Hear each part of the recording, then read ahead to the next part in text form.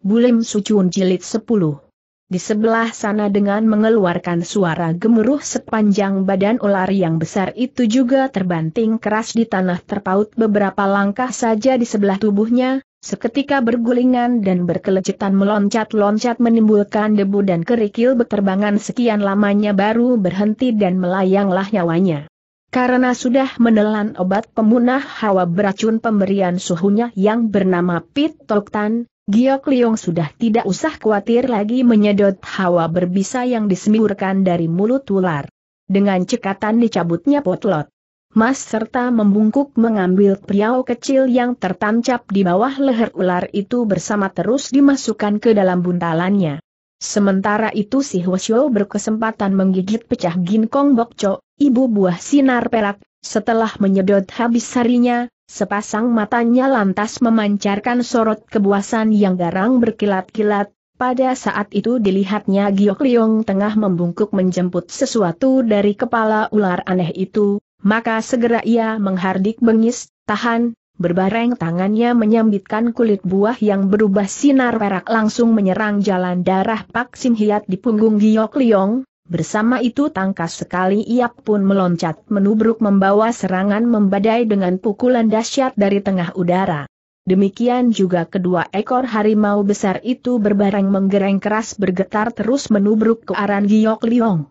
Sungguh mimpi juga Giok Liong tidak mengira pertolongannya secara berbahaya tadi bukan saja tidak mendapat simpatik atau tanda penghargaan malah orang membalas air susu dengan air tuba, serentak turun tangan menyerang dia mengancam jiwanya.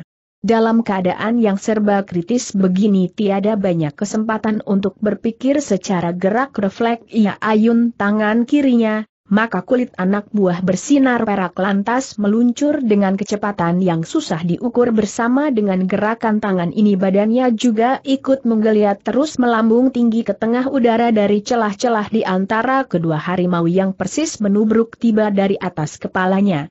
Dalam pada itu si Hwasyo tua yang masih mengapung di tengah udara begitu melihat Giok Liong menyambitkan selarik sinar putih perak, hatinya lantas mengeluh lirih, Celaka badannya mendadak jumpalitan balik terus meluncur turun. Sambil mengulur tangan meraih ke arah kulit anak buah sinar perak yang meluncur datang. Sayang sekali sedetik sebelum tangannya berhasil menangkap kulit buah itu tahu-tahu terdengar suara piar, yang halus, samar-samar percikan cahaya putih perak berkembang di tengah udara lantas terendus bau harum semerbak merangsang hidung. Begitu tangannya meraih tempat kosong, sepasang mata Hwasyo tua lantas memancarkan sorot kebuasan yang penuh nafsu membunuh. Begitu kaki menginjak sekali tutul lagi, badannya lantas menggeliat dengan gaya yang indah sekali melompat maju mengejar sambil membentak gusar, bunuh tapi kali ini bukan meluruk ke arah Giok Liong sebaliknya melambung tinggi terus menubruk ke arah ular aneh yang setengah sekarat itu. Sekali tangan terayun, Lantas terlihatlah sinar dingin berkedip keras suara sanberan enteng ini menimbulkan cahaya merah mengalir dan berputar, tahu-tahu di genggaman tangannya sudah menyekal sebutir mutiara merah sebesar kepelan tangan kecil yang berkilauan. Tepat pada saat si Hwasyo tua berseru dengan teriakan membunuh tadi. Kedua ekor harimau besar itu lantas mengabitkan ekor masing-masing sambil menggerung sekeras-kerasnya sampai menggetarkan tanah pegunungan sekelilingnya, dengan membawa bau amis yang memuakan serentak mereka menubruk ke arah Giok Liong. Keruan Giok Liong menjadi gusar, sedikit kakinya menutul, ringan sekali badannya lantas melompat mundur tiga tombak jauhnya, bentaknya dongkol, Toa Suhu, apa-apaan kelakuanmu yang ingin melukai orang tanpa sebab. Dalam pada itu si Hwasyo tua juga tengah berdiri tegak lalu membentang telapak tangannya, dengan cermat ia awasi mutiara ular merah yang berada di telapak tangannya, di lain saat ia lantas masukkan mutiara pusaka ini ke dalam buntalannya, wajahnya mengunjuk rasa puas dan gembira. Tapi di lain saat tiba-tiba air mukanya berubah gelap, gerungnya rendah, berhenti.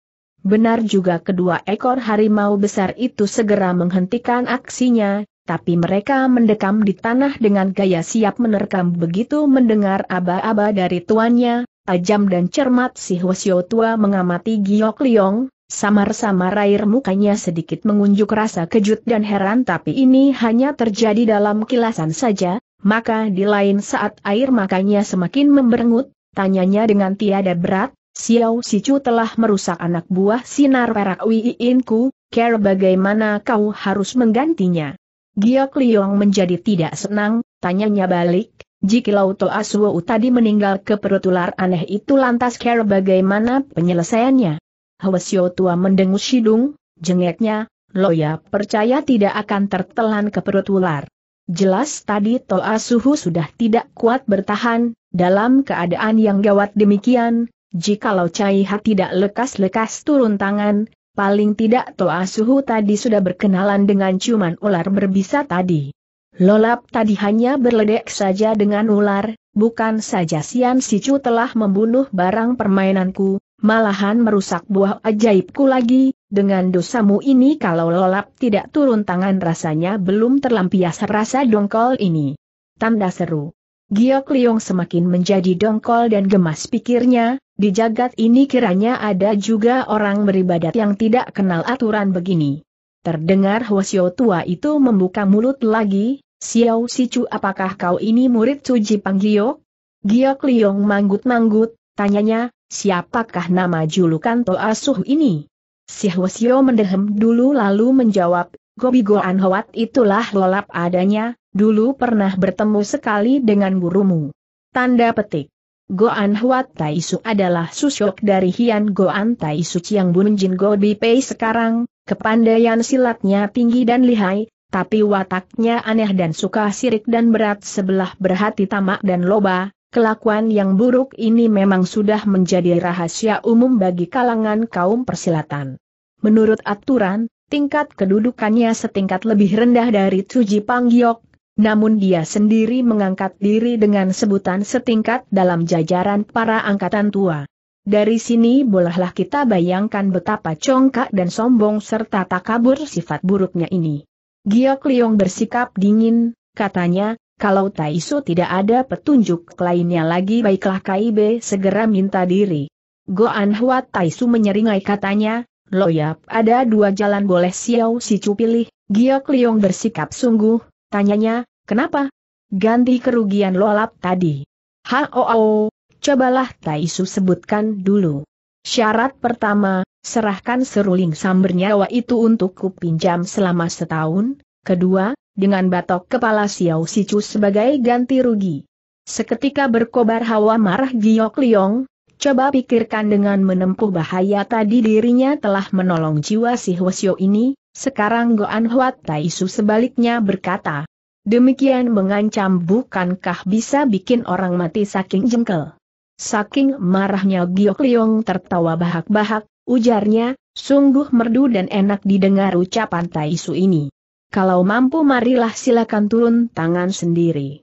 Goan Huat Taisu mendengus sejek, katanya, kalau benar-benar harus lolap sendiri yang turun tangan, jiwa Xiao Sicu ini sudah pasti harus diserahkan. Marilah, lebih baik kita bicara dan berdamai saja silahkan serahkan seruling samber nyawa itu dan selanjutnya kita menjadi sahabat. Ucapan Goan Huat ini semakin mengobarkan kemarahan Giok Liong, seketika air mukanya berubah dingin membeku bersemu merah, desisnya geram, Jibun Te cuma Giok Liong. Minta pengajaran lihai dari Taisu. Mendadak Goan Huat Taisu mendungak serta bergelak geiak, serunya tak kabur, kau bocah kurcaci ini masa menjadi tandingan lo. Ya, belum habis kata-katanya mendadak ia mengebutkan tangannya, Segulung angin pukulan lantas menderu keluar menerpa dengan dahsyat. Serentak dalam waktu yang sama, kedua ekor harimau itu menggerung keras, buntutnya yang panjang dan besar itu lantas menyabet tiba, berbareng mereka menubruk, maju dari kanan kiri, ini betul-betul merupakan suatu penghinaan bagi Giok Liong, memandang rendah dengan menyuruh binatangnya menyerang. Betapa takkan luka hatinya, maka sambil berkekanan panjang suaranya mengalun tinggi, jubah panjang tangannya dikebutkan, badannya lantas melayang enteng sekali, berbareng jilo dikerahkan sampai tingkat ke-10 jurus cinciu juga lantas dilancarkan. Gerungan harimau menggetarkan bumi angin menderu-deru, awan putih berkelompok-kelompok mengembang terus memapas ke depan. Goan Huat Taisu berteriak kejut, celaka, mundur lengan bajunya yang panjang lebar cepat-cepat dikebutkan badannya juga ikut meluncur tiba secepat burung terbang, sayang dia bergerak lambat setindak, masih ia terapung di tengah udara, terdengarlah gerung keras kesakitan dari kedua binatang piaraannya itu. Darah munkrat ke mana-mana, berbareng kedua ekor harimau besar itu terbang terpental kedua jurusan sejauh puluhan tombak terus terbanting keras di tanah, seketika keempat kakinya menghadap langit dan jiwanya melayang. Goan Huat Taisu menggeram murka, hardiknya, berani kau membunuh binatang cerdik penunggu gunungku, Gobi Pei tak berdiri sejajar dengan bocah keparat macam kau ini.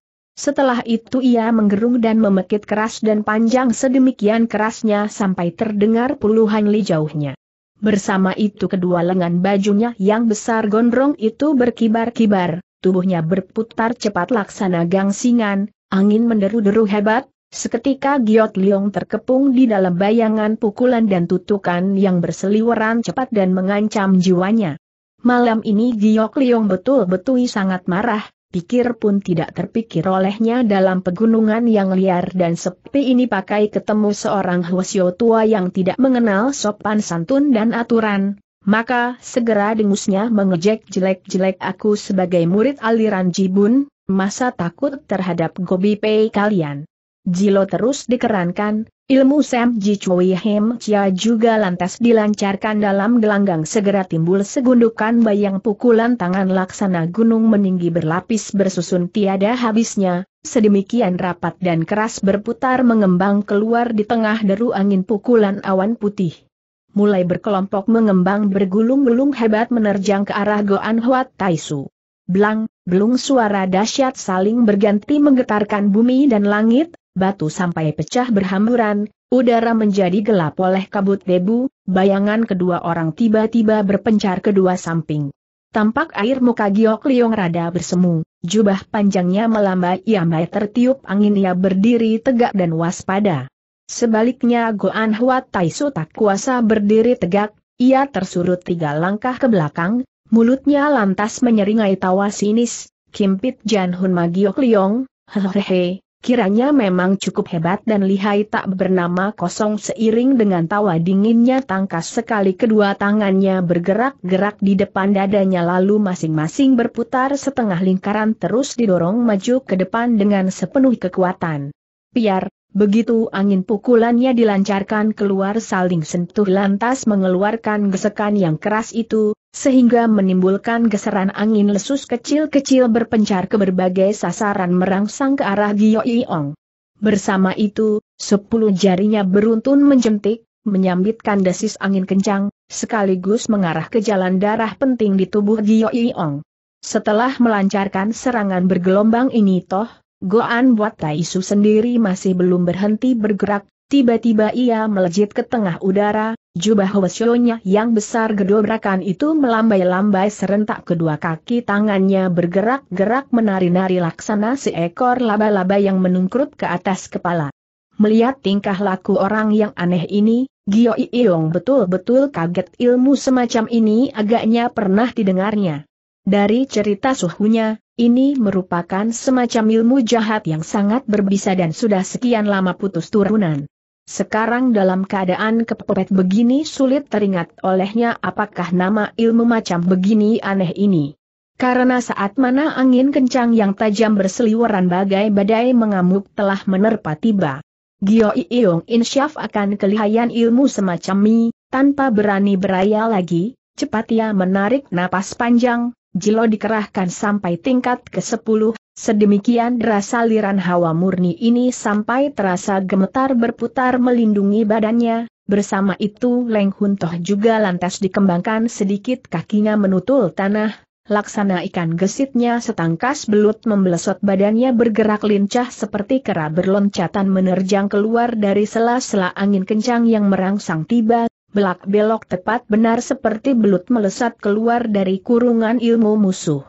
Agaknya Goan Buat Taisu tidak mengira akan perbuatan Giok Liong, Meski dalam hati ia kagum namun mulutnya menjengek gusar, bocah keparat ternyata berisi juga, loh semakin tidak akan mengampuni kau. Tiba-tiba badannya yang terapung di tengah udara itu bisa berputar cepat segesit burung terbang terus mengejar dan menubruk datang ke arah Giok Liong.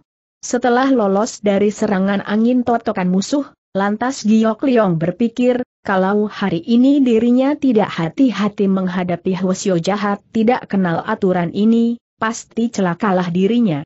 Maka ia pun tidak mau kalah garang, ejeknya menghina, Chuan mudamu ini masa takut menghadapi ilmu siluman dari aliran sesat yang kau pelajari ini. Karena pengarahan GIO sampai tingkat ke-10 ini, tiga kaki sekitar tubuhnya sudah terpenuhi dan dilingkupi oleh Siantian Chin KHI berbareng potlot mas juga dilolos keluar. Terus diacungkan ke atas bersiap menghadapi serangan dari atas.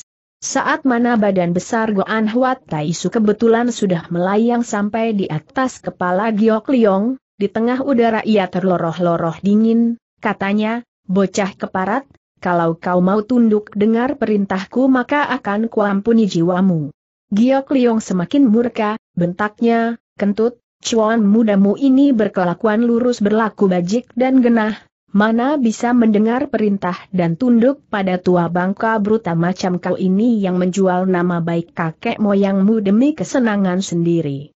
Sebetulnya makiannya ini melulu untuk ucapan pancingan belaka, tak terduga justru tepat mengenai borok dari keburukan Goan Huat Taisu seketika berubah hebat air mukanya. Mulutnya lantas terkekeh-kekeh dingin menyakitkan pendengarnya, keparat dari mana kau mengetahui rahasia pribadi lohu, hehehe. Suaranya sedemikian sadis dan mengerikan. Waktu Giok Liong mendungak ke atas, tampak badan Goan Huat Taisu yang terbang terapung dan bergerak-gerak seperti laba-laba lazimnya, lambat laun terbungkus oleh kabut gelap warna biru tua yang bersinar kemilau. Demikian juga seluruh air mukanya sudah berubah menjadi biru tua, sungguh ngeri dan menakutkan. Tersentak kesadaran Giok Liong, tiba-tiba selintas pikiran berkelebat dalam benaknya, inilah Lancu Tok ilmu jahat berbisa pelajaran Ibun Huat, pemimpin istana beracun pada 400 tahun yang lalu. Tapi jelas bahwa latihannya masih belum matang, begitulah otaknya bekerja, sebaliknya mulutnya tertawa gelak-gelak, Ujarnya, mengandal latihan Mulan Cutok Yam yang masih cetek ini, berani kau unjuk kegarangan dan pamer di hadapan seorang ahli, sungguh takabur dan memalukan. Agaknya Goan Huat Taisu sangat terkejut akan ucapan Giok Liong ini. Tapi badannya sudah mulai amblas menurun terus meluncur tiba dengan seluruh badan terselubung kabut biru, sepasang tangannya berubah seperti cakar burung Garuda, Telapak tangannya masing-masing memancarkan cahaya terang kebiruan yang bergemerlapan. Di saat badannya menungkrup turun, sepuluh tombak sekelilingnya menjadi dilingkupi oleh cahaya biru yang terang cemerlang oleh kabut yang semakin tebal. Giok Liong berdiri tegak sambil menahan napas menanti setiap perubahan potlot masnya masih teracung ke atas, Jilo terus dikerahkan berputar melindungi badan. Gelombang suara tawa Goan Huat Taisu semakin berkumandang keras dan menusuk telinga tak enak didengar seolah-olah gelak tawanya ini bukan keluar dari mulut manusia. Kabut biru yang cemerlang itu semakin tebal, seluruh badan Giok Liong menjadi ikut tersorot menjadi biru terkena sinar refleks dari cahaya kabut biru yang bersinar itu bahwa Lancutok Yam ini sangat berbisa, Meskipun bagaimana cara permainan ilmu ini belum jelas tapi pernah didengarnya dari cerita gurunya tentang ilmu jahat ini. Katanya jurus permainannya sangat aneh dan ganas tidak mengenal peri kemanusiaan, setiap jurus merupakan serangan mematikan bagi lawan, apalagi banyak perubahan dan sulit diraba mengarah ke mana sasaran yang dituju sebetulnya, sehingga sukar dibendung atau bersiaga sebelumnya. Maka dalam saat ia sendiri menghadapi bahaya seperti yang pernah didengar dari cerita gurunya itu, sedikit pun Giok Liong tidak berani berayal, hawa dan tenaga murninya dikerahkan serta mendorong keluar di luar badan sampai melebar semakin luas kira tiga kaki sekitar tubuhnya terkekang dan diselubungi seluruh kekuatan ilmu jilonya itu. jarak musuh sudah semakin dekat dari 8 sampai 7 dan semakin dekat lagi menjadi 6 kaki. Tanda petik. Sekonyong-konyong Giok Liong merasakan adanya perubahan di atas badannya, ternyata tiba-tiba pusarnya telah sedikit tergetar dan mendingin, keruan kejutnya bukan kepalang, pada saat itulah sesuatu telaga mahadasyat laksana gugur gunung telah menindih di atas kepala Giok Liong. Piuk terdengar ledakan ringan, waktu kabut biru kebentur oleh hawa murni di luar tubuh Giok Liong, seketika hawa udara di sekitar gelanggang menjadi berubah keras. Giok Liong terdengar mendehem keras, potlot mas yang teracung ke atas mendadak memancarkan sinar kemilau terus mencang ke atas. Sesaat lama kedua belah pihak saling bertahan tanpa bergerak. Tenaga tindihan atau gencetan terasa semakin besar dari berbagai arah terus terpusat ke seluruh badannya.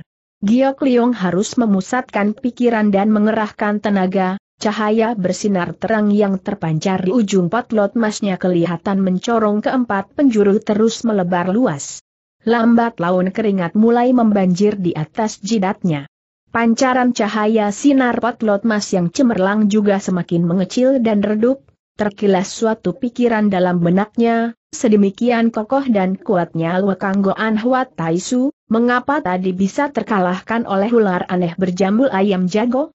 Apakah ia tengah berlatih semacam ilmu berbisa sedikit pikiran ini terlintas, sorot pancaran sinar kekuningan dari kekuatan senjatanya semakin suam lagi, Keringat semakin banyak mengalir sehingga berketes-ketes membasahi seluruh badan seperti kehujanan layaknya.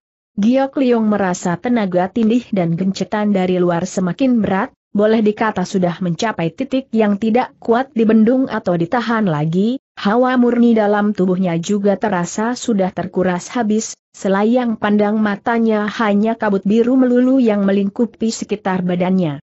Sungguh ngeri dan menakutkan jelas sekali dia mendengar kumandang gelak tawa yang menggiriskan semakin keras terkiang-kiang di pinggir kupingnya, kepalanya mulai terasa pusing tujuh keliling, pandangan mulai berkunang-kunang, kaki tangannya juga mulai lemas dan linu gatal tak tertahan lagi.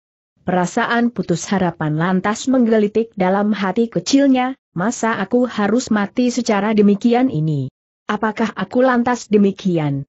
Ya, dia tahu sekali kabut biru berbisa itu menyentuh tubuhnya, kesadarannya bakal kabur dan terkekang lalu menjadi domba selama hidup ini.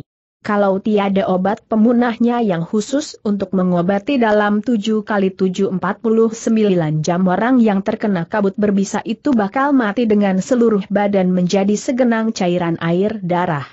Begitulah dalam keadaan pikiran tidak tenang dan hawa murni sulit dikerahkan lagi ini. Mendadak terbayang akan adegan di kala ibunya mengalami bencana terlintas dalam otaknya. Lantas pemikiran lain lantas terkilas dalam benaknya secepat kilat, aku tidak boleh mati, masih banyak tugas yang harus kulakukan. Terutama tugas berat yang akan jaya dan runtuhnya penghidupan kaum persilatan di seluruh jagat ini, dan lagi dengan adanya lancutok yam yang kenyataan mulai bersemi pula di kalangan Kangowo ini, bukan mustahil ini merupakan benih kehidupan dari istana beracun, maka semakin dipikir terasa betapa besar dan berat tugas yang dipikulnya ini, serentak mulutnya lantas menghardik keras, Yaa kedua lengan tangannya mendadak berontak sekuat. Tenaga, di mana tenaga murninya terkerahkan terus didorong ke atas. Kabut biru rada terdesak ke atas, tapi Goan Huat Taisu masih terus berusaha menekan ke bawah, Sekonyong-konyong terasa segulung hawa dingin hangat bersemi di dalam pusarnya terus menjalar naik langsung menyusup dan menerjang ke seluruh urat nadi dan sendi-sendi seluruh tubuhnya. Seketika pikiran Giok Liong menjadi terang, keruan girang bukan main hatinya batinnya, ya, mungkin karena hawa murni dalam tubuhku sendiri sudah terkuras habis, sekarang khasiat buah ajaib itu telah menunjukkan kegunaannya. Sungguh tidak disadari olehnya secara serampangan saja pengalaman yang penuh bahaya di dasar jurang ini malah merupakan care yang tepat penggunaannya obat buah ajaib itu. Saat mana cairan perak atau sari mujarab dari buah ajaib itu, karena tenaga dari dalam tubuhnya sendiri sudah terkuras habis, digencet lagi dari tenaga luar, lantas terbaur menjadi satu dan terkombinasi dengan hawa murni dalam tubuhnya, sekarang sudah mulai menunjukkan keampuhannya yang luar biasa.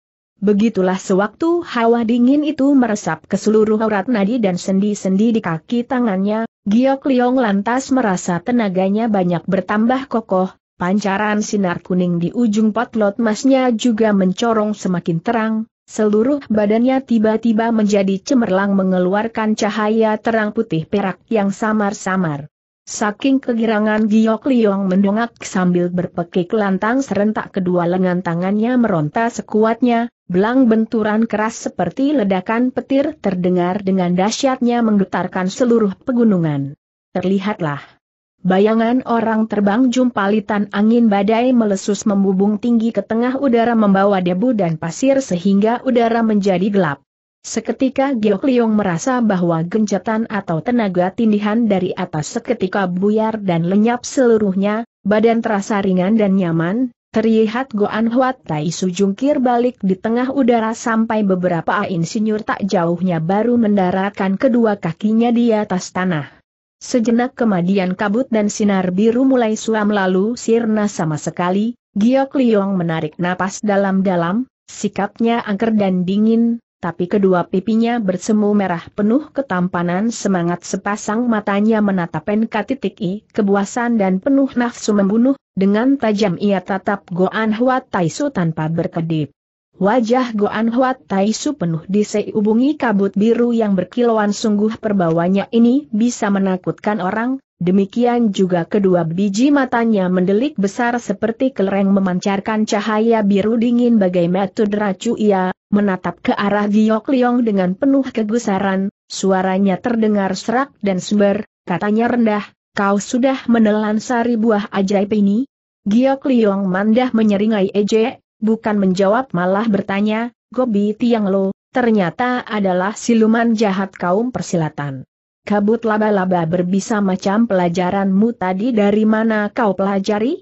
Mendadak Goan Huat Taisu terloroh-loroh kering mengkirikan kuduk dan bulu roma, serunya bersenandung, seluas salam semesta, hanya akulah yang teragung Ibun Hutco, kakek moyang Ibun, bertsbi aku panjang umur.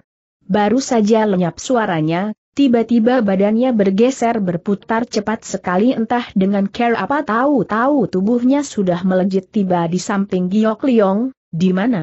Sinar biru menyala, tahu-tahu kelima jari tangannya bagai cakar Garuda sudah menjojoh datang di bawah ketiak kanan Giok Liong.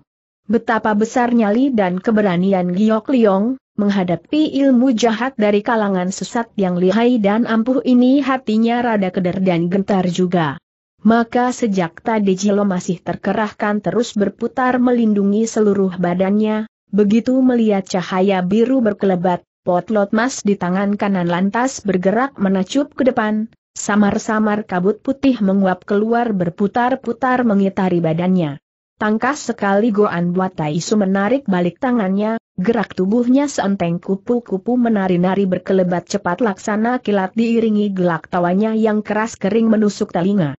Begitu cepat gerak tubuhnya itu sehingga terbentuklah puluhan bayangan manusia berwarna biru, semua sedang berlenggang mengitari Giok Liong dengan langkah gesit dan teratur.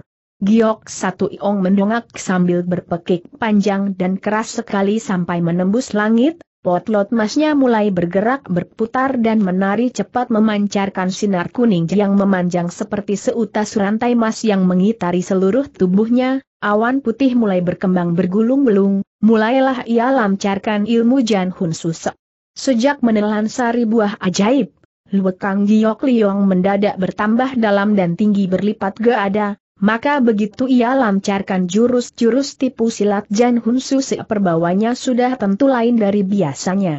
Tampak mega putih berputar semakin cepat menderu-deru berdesir di seling pancaran cahaya putih perak yang keluar dari badannya menerangi sekitar badannya, terutama sesosok bayangan putih yang selulup timbul kadang-kadang jelas di lain saat samar-samar, bergerak seperti lambat namun hakikatnya. Berkelebat laksana kilat, Begitulah sosok bayangan putih ini terbungkus rapi dan ketat oleh seutas sinar kuning yang memanjang selincah kera menari tengah berputar dan bergerak dengan tenang. Adalah di luar lingkungan badannya ini kabut biru masih tetap bergulung-gulung dengan tebalnya, gelak tawa HKS, TNA jeritan setan masih terdengar menusuk telinga.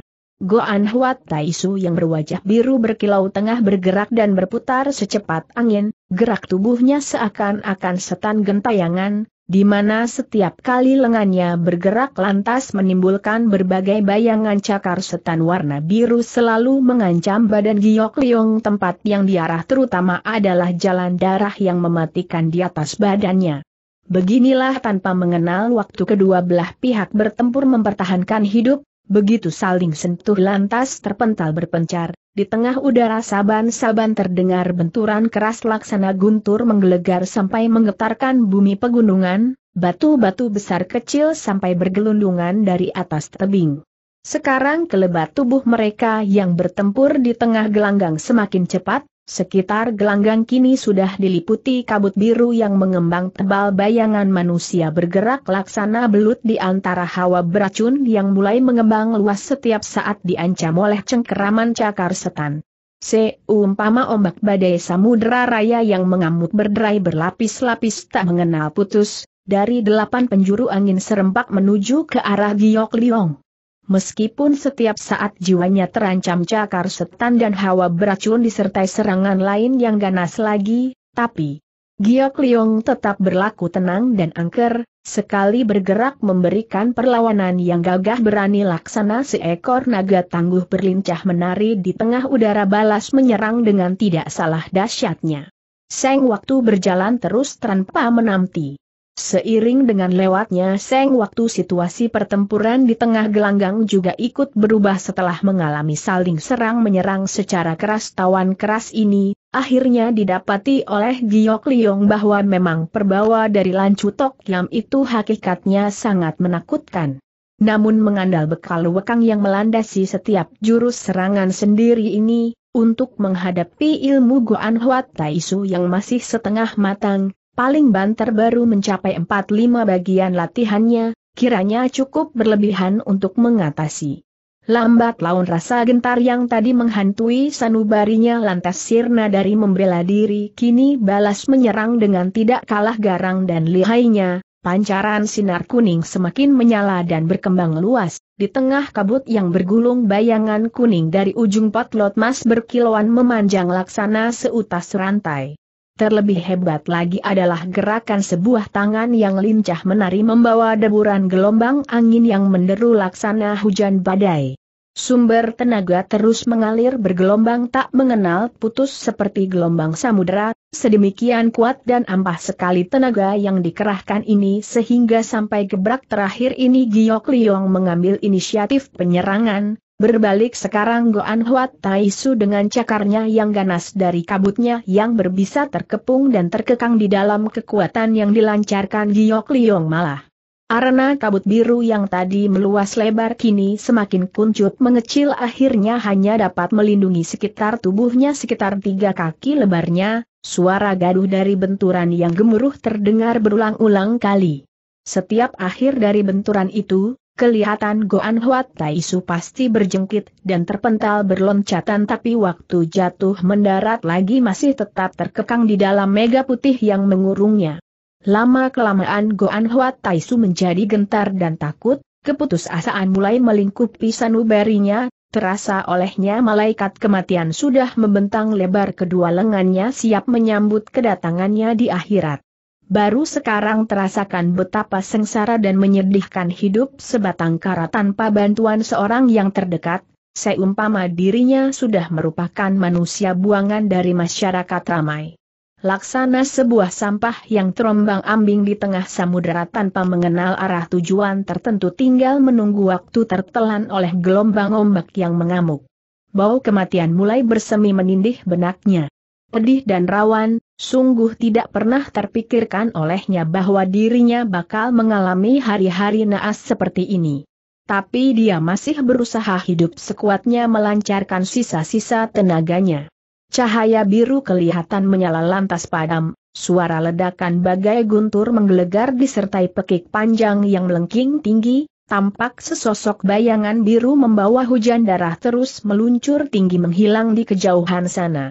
Sesosok bayangan lain berwarna putih sebaliknya melejit tinggi ke tengah udara dua puluhan tombak, Ringan sekali kakinya menutul di atas sebuah batu di atas lereng bukit terus jumpalitan naik lagi lalu mendarat di atas ngarai.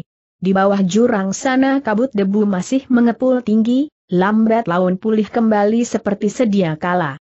Tatkala mana Seng Putri Malam kebetulan sudah mulai memancarkan sinarnya yang terang redup berwarna perak halus menerangi ke bawah jurang sana jelas kelihatan bangkai kedua ekor harimau menggeletak tak berkutik lagi, sebaliknya bangkai ular aneh tiu tersembunyi di tempat gelap yang tidak sampai diterangi sinar bulan purnama ini. Giok Liong berdiri tegak dan berdiam diri, betapa rasa hati ini sulit dilukiskan dengan kata-kata, Sungguh tidak nyana olehnya karena mengalami bahaya malah dirinya mendapat rejeki, malah sekaligus dapat melancarkan khasiat dan kegunaan rejeki yang ampuh itu sekarang luwekang dalam tubuhnya suadap bertambah berlipat ganda. Namun demikian masih ada suatu persoalan yang selalu mengganjal hatinya, yaitu mungkinkah pimpinan istana beracun Ibun Huat telah bangkit kembali dari liang kuburnya? Kalau tidak bagaimana mungkin Lancutok Yam, kabut beracun laba-laba biru, bisa muncul pula di kalangan Kano? Kiau dugaan ini menjadi kenyataan, ini benar-benar sangat menakutkan.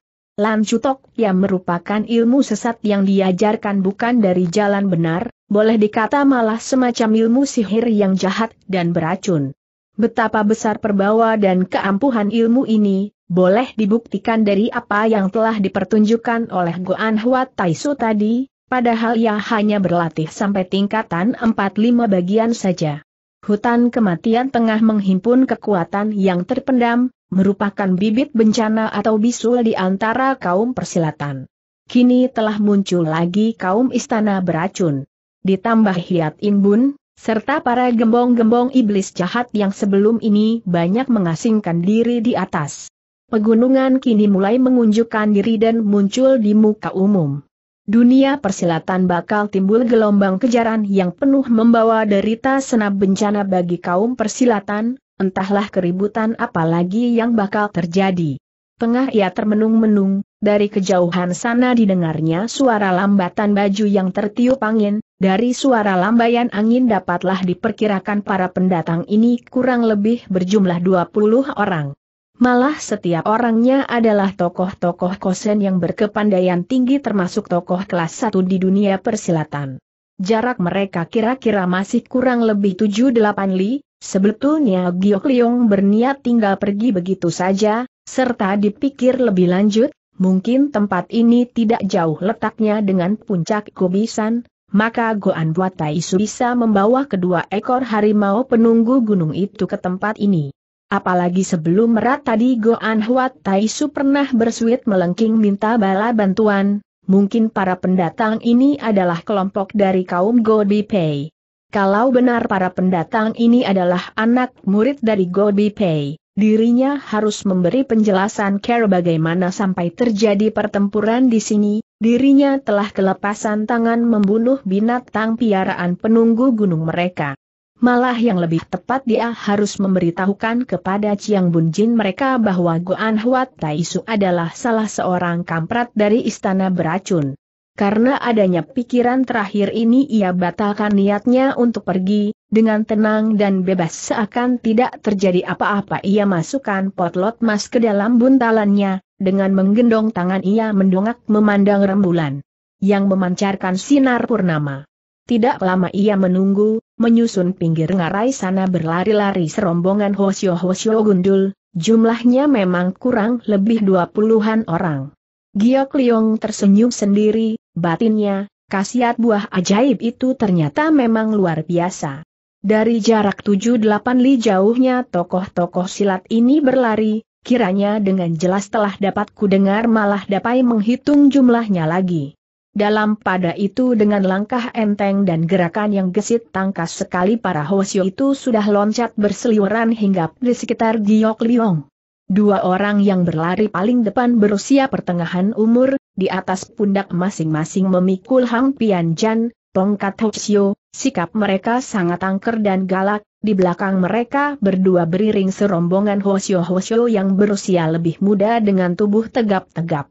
Begitu mereka sampai segera terdengar salah seorang dari mereka berteriak kejut, celaka, harimau sakti penunggu gunung kita telah mampus di bawah jurang sana, Seketika dua puluhan pasang mata serentak memandang ke bawah jurang sana. Kedua Hwasyo tua pemimpin itu segera melejit tiba di hadapan Giok Liong berjarak setombak, Hwasyo yang berdiri di sebelah kanan segera membuka mulut, harap tanya Xiao Sichu, apakah kau tahu harimau sakti penunggu gunung kita telah dibunuh oleh siapa? Giok Liong angkat tangan sedikit saja, sahutnya, kedua binatang itu telah mampus di kedua tanganku ini. Serempak kedua Hosio tua itu lantas angkat kedua tongkatnya sampai mengeluarkan suara kentongan, Hosio. Yang bicara tadi segera memaki dengan gusar serta melotot, binatang, berani kau bertingkah di atas gunung Gobi. Berapa sih betok kepalamu, serahkan seluruhnya sebagai hukuman yang setimpal.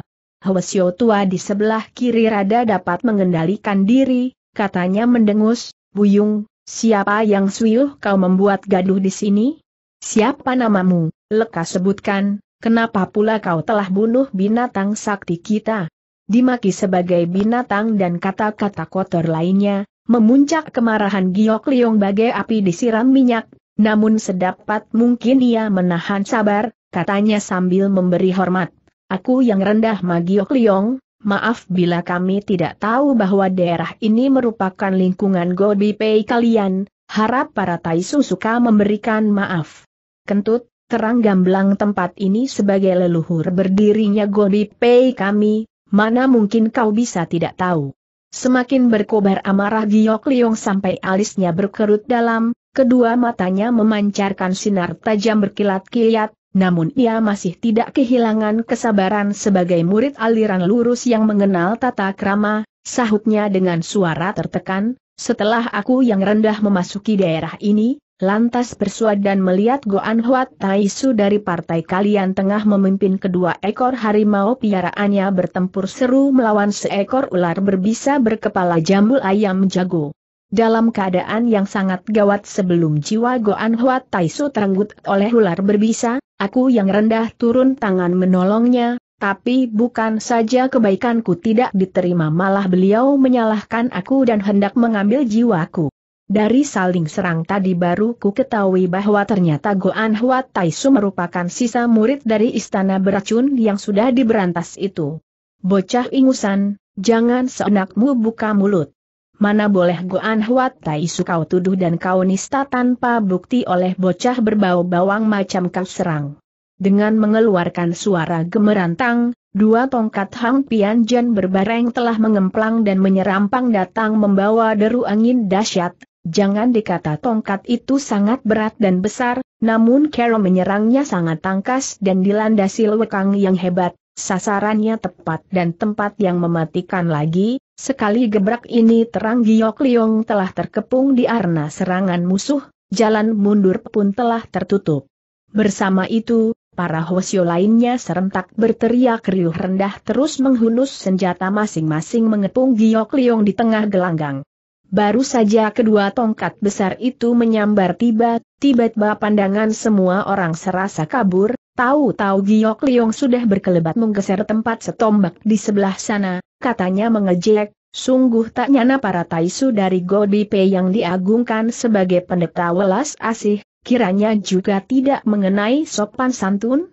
Tanpa merasa para Hosio itu terketuk hatinya diam-diam merasa membatin, ternyata bocah ini bersih juga. Meskipun O tak berpikir, namun gerakan mereka masih terus dilanjutkan serentak terdengar mereka membentak-bentak, Terlihatlah sinar senjata berkelebat diiringi angin pukulan menderu berbareng mereka menyerang ke arah Giok Liong.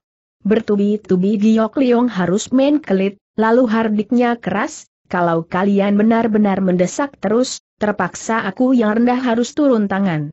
Hahaha, kunyuk, kurcaci macamu ini, silakan kau turun tangan, supaya bisa mampus dengan merem.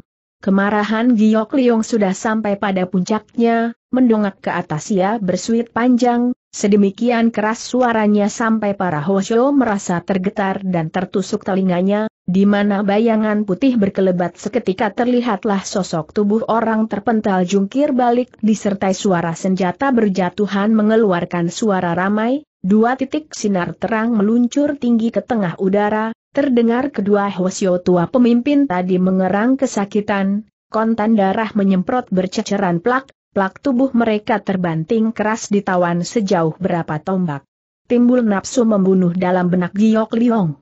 Terbayang akan adegan di mana waktu ibunya menghadapi bencana dulu, matanya lantas memancarkan sorot jalang kebuasan gerak tubuhnya semakin gesit dan berloncatan gesit sekai di mana bayangannya tubuh serta kaki tangannya bergerak, seketika terdengar jeritan ngeri berturut-turut, darah berhamburan.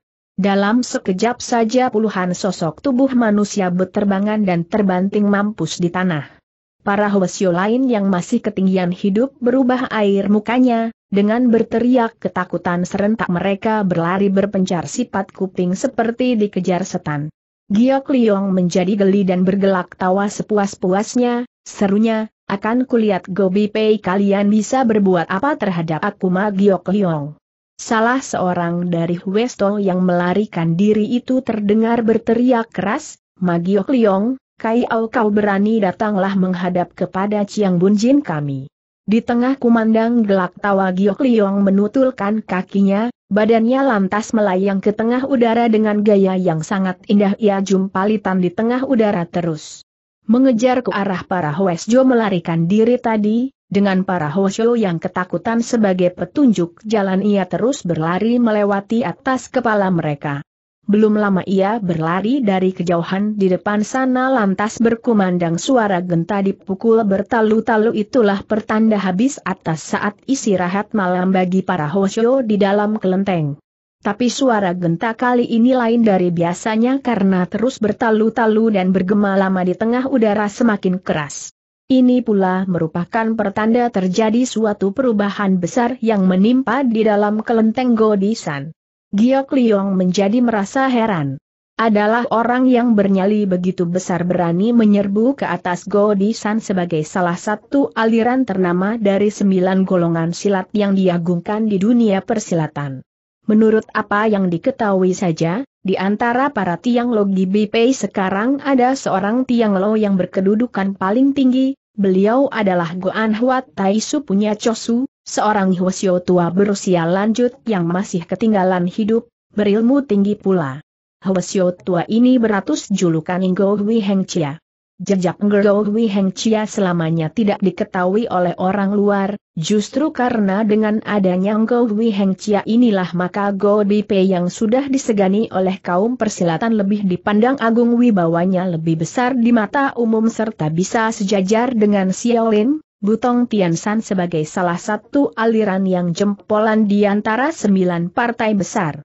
Malam ini entah siapa yang berani menerjang ke atas Godisan membuat onar, sungguh sukar dimengerti, tengah ia berpikir kakinya masih melangkah cepat, dari kejauhan sudah terlihat bangunan kelenteng yang berlapis-lapis bukan saja pelita api tidak dipadamkan banyak tempat dipasang lilin dan pengeloleng yang besar di tiang-tiang tinggi, seolah-olah tengah mengadakan suatu upacara sembahyang atau peringatan besar.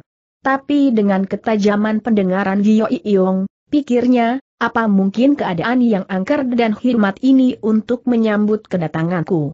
Bukan mustahil Goan Huat Taisu yang melarikan diri membawa luka-luka menghadap kepada Golbich yang Bun Jin Hian Goan Taisu serta mengadu biru di hadapan beliau dengan adanya kenyataan dan bukti yang telah dilakukannya tadi, bukan mustahil menjadikan mereka bersiap siaga ada alasan kuat untuk menghadapi dirinya sebagai musuh besar, terpikir sampai di sini timbul kekhawatiran dalam benaknya. Tingkat kedudukan Inggo Hui Heng Chia konon katanya masih setingkat lebih tinggi dari Tuji Panggiok, gurunya sendiri. Tingkat kepandaian silatnya katanya juga sangat tinggi hampir menjadi pendekar pedang menjadi dewa. Tapi berita tinggal berita, hampir selama ratusan tahun ini tiada seorang pun yang pernah melihat beliau mengunjukkan diri mau memamerkan ilmunya yang sejati. Hian Go Antai Suci yang Bun Jin Go yang seorang adalah bakat yang sukar dicari keduanya di kalangan persilatan masa kini, terbukti selama dua puluhan tahun ia memegang tampuk pimpinan Go Bipe sejak masih muda sampai sekarang, Go Bipe semakin menjulang tinggi dan tenar sebagai aliran besar yang lurus. Tak peduli selama dua puluhan tahun-tahun ini sepak terjangnya bagaimana, Hakikatnya ternyata Gobipe telah dipimpinnya sedemikian rapi berdisiplin keras, tingkat kepandaian para muridnya juga merata menjadi tingkatan kelas 1 di kalangan Kangou. Kalau malam ini membunyikan genta memanggil kumpul seluruh penghuni kelenteng besar ini semata-mata untuk menghadapi dirinya. Kedatangannya ini melulu mengandal ilmu silat tiada pegangan pasti dapat menang, mengandal kenyataan, dikhawatirkan mereka tidak akan mau percaya. Seumpama terjadi keributan dengan pihak Kobi ini berarti pula menentang dan bermusuhan dengan pihak sembilan partai lainnya. Sekarang keadaan Bulim tengah menghadapi ancaman terpendam yang suatu waktu bakal meletus dan gawat dalam dunia yang luas ini. Kalau kalangan lurus persilatan tidak dapat bersatu dan saling solider, sebaliknya saling bunuh dan bermusuhan, dan sumber kejadian ini melulu karena perbuatannya yang salah. Langkah ini, ini sungguh sangat menguatirkan. Sambil berpikir tubuhnya terus meluncur dengan kecepatan anak panah maju ke depan tak lama kemudian pintu gerbang pertama sudah kelihatan dengan ringan Gio Iong mendaratkan kakinya di jalan besar di sini ia berhenti sejenak mengonsentrasikan pikiran dan mengendalikan diri, Lalu pandangannya menjelajah ke sekitarnya terlihat empat penjuru sunyi senyap tanpa terdengar suara sedikit pun.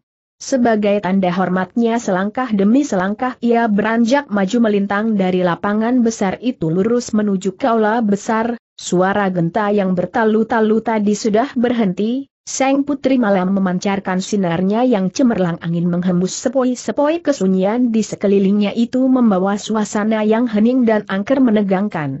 Waktu Giok Liong beranjak sampai di tengah lapangan, tiba-tiba terdengar suara mantram yang mengalun tinggi, pintu besar bercat hitam itu juga pelan-pelan terbuka lebar, dari belakang pintu beriring keluar dua barisan hwasyo-hwasyo.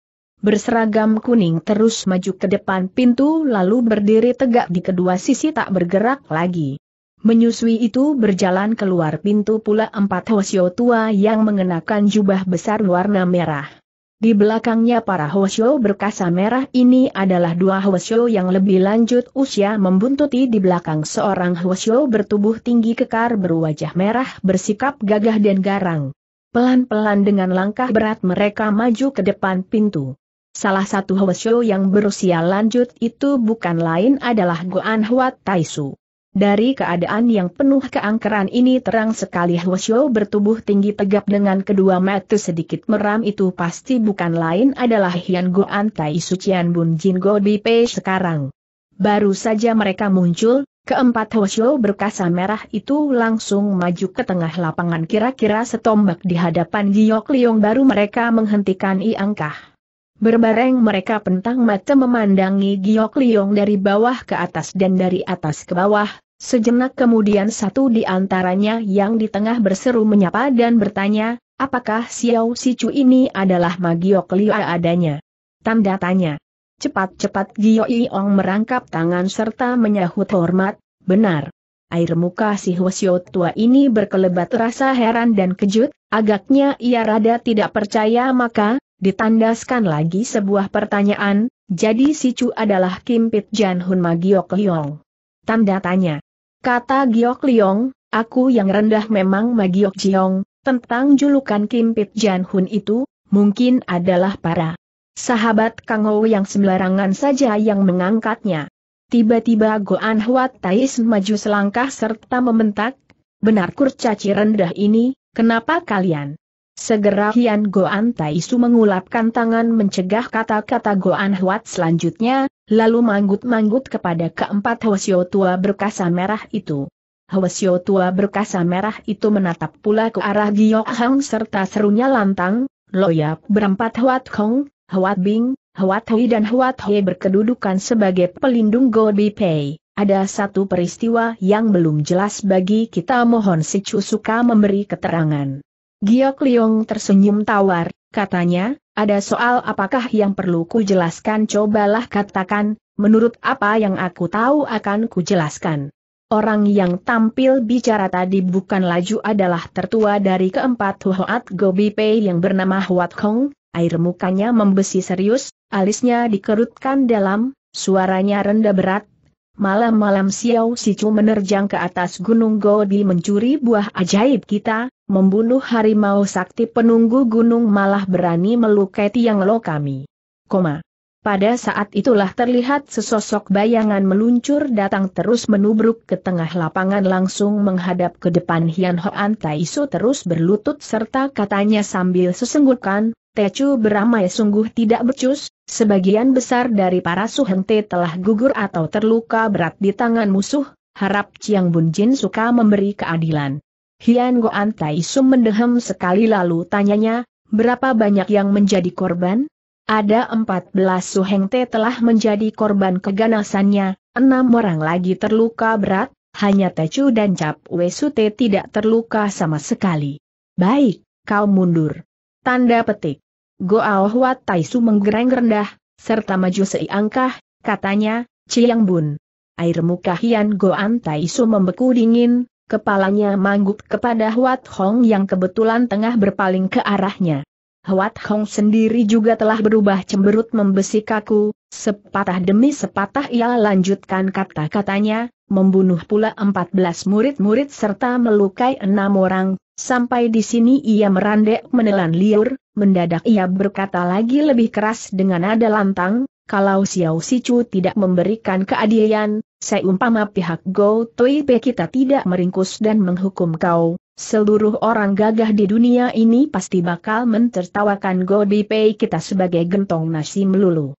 Giok Liong membelalakan kedua matanya dengan tajam berkilat ia menyapu pandang ke seluruh gelanggang, lalu sedikit saja ke arah Wat Hong Taisu, berseri tawa, ujarnya, harap Chiang Bun Jin kalian suka tampil ke depan untuk bicara. Berubah air muka Wat Hong, desisnya berat, benar tak kabur telapak tangan yang tersembunyi di dalam lengan bajunya yang gedoberahan besar itu mendadak mengebas dan menekan ke bawah lambung Giok Liong. Seketika segulung arus deras bagai damparan ombak menerpa dengan dahsyatnya. Giok Liong bergelak tawa, serunya, ternyata Gobi Pei kalian memang banyak cecongori yang pandai membokong, belum lenyap suaranya, tangan kanan I antas dibalikan seolah-olah sengaja atau tidak dikebalikan keluar, seperti mengebutkan debu kotoran yang melekat di lengan bajunya saja layaknya. Blang. Suara pecah bagai ledakan guntur menggelegar. Di tengah gelanggang. Kedua belah pihak berjarak setombak lebih, maka timbullah dua angin lesus seperti cagak kayu yang didirikan di tengah lapangan bertahan keras itu terus membumbung tinggi dan melayang ke empat penjuru. Terdengar Huat Hong menggereng keras seperti hendak muntah beruntun ia tersurut empat tindak baru bisa berdiri tegak lagi, air mukanya berubah hebat, sebelum ia dapat pernahkan diri untuk menerjang maju lagi, Huat Bing, Huat Hei dan Huat Hei di sampingnya serentak telah mengirim sebuah pukulan sambil melangkah maju setindak. Meskipun pukulan dilancarkan dari kejauhan namun tiga jalur rayum pukulan ini bertemu dan bergabung di tengah jalan terus bergulung maju mengeluarkan bunyi guntur menggeledek menerjang ke arah Giok Liong. Dengan gagah dan congkaknya Giok Liong berdiri tegak di ujung mulutnya menyungging senyum ejek, dengusnya mengejek, Aku tak percaya tidak dapat minta Ciang Bunjin kalian tampil ke depan. Setelah berkata, ia menarik napas, meminjam gaya kebasan, lengan tangan kanan tadi sekali lagi ia membalik sambil mendorong dengan rada jongkok. Biar seperti gunung meledak dan batu-batu hancur lebut berterbangan membumbung tinggi ke tengah udara. Di tengah gelanggang kini terlihat tiga lubang besar sedalam beberapa kaki, bayangan orang juga berkelebat. Sung Sang Sumbel diiringi pekik kesakitan. Kontan tiga hoat jubah merah lainnya juga tersurut mundur dua langkah. Sebaliknya Giok Liong hanya menggeliat sedikit. tapi tubuhnya masih tetap tegak berdiri sedikit pun kakinya tidak tergeser, suasana mulai diliputi ketegangan yang mencekam hati dengan nafsu membunuh telah membakar hati. Air muka Chiang Bun Jin Go Bi Pe Hian Go Tai Su membeku dingin dan kaku, kedua matanya membelalak besar dengan sorot tajam berkilat, Tiba-tiba badannya melejit ke tengah udara tanpa kelihatan menggerakkan kaki atau pundak pun ia bergerak, kelihatan lambat tapi kenyataan sangat sebat dalam sekejap saja tahu-tahu dia sudah berdiri di depan keempat huhoat berkasa merah itu, terdengar ia membuka suara, para huhoat diharap mundur ke samping untuk istirahat. Sebetulnya Huat Hong berempat sudah bersiap hendak menerjang maju lagi, serta mendengar seruan Hian Goan Taisu, mereka insyaf bahwa ketua mereka telah memberi sedikit muka kepada mereka. Tanpa berani aja lagi beruntung mereka mengundurkan diri sambil mengiyakan. Sementara itu, Goan Huat Taisa dan seorang Hwasyo tua lainnya juga telah ikut mendesak maju. Dengan wajah membesi penuh kelicikan berkatalah Goan Huat Taisu dingin, lapor Chiang Bunjin, bocah keparat ini telah mencuri buah ajaib yang telah lolap temukan sehingga membunuh binatang sakti menunggu gunung piaraan kita malah melukai dan membunuh para anak murid kita lagi. Betapa besar dosanya ini sudah terang tak terampunkan lagi, tapi bocah ini telah menelan sari buah ajaib itu, luwekangnya maju berlipat ganda lihai bukan main. Harap Chiang Bun Jin hati-hati dan waspada menghadapinya supaya tidak mendapat cedera. Chiang Bun Jin Go Bi Pe Hian Go Antai Su hanya mendengus dingin saja, katanya, sudah tahu, harap Susyok mundur biar ku hadapi. Walaupun Go An Fat Tai Su sebagai Susyoknya, tapi di hadapan Chiang Bun JM dia tidak berani bersikap keras kepala, setelah membungkuk serta mengiyakan segera ia mengundurkan diri, tapi masih menjubluk berkata, dosa keparat ini setinggi langit, hakikatnya dia tidak pandang Godipe sebelah matanya saja. Tanda petik. Saat mana Hian Goan Taisu dengan sorot pandangan dingin mengamat-amati Giok Liong, tanyanya, Xiao Sichu ada permusuhan atau sakit hati apakah dengan pihak Gobipe kita, setelah membunuh harimau penunggu gunung, melukai beberapa murid dan mencuri buah ajaib lagi, sekarang masih belum puas menerjang kemari membuat keributan.